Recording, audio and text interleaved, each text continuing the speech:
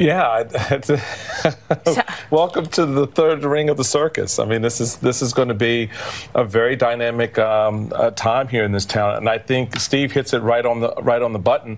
When you look at what happened tonight, you look at the the early threats um, against Flake, for example.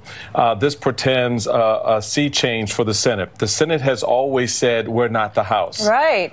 Guess what, baby?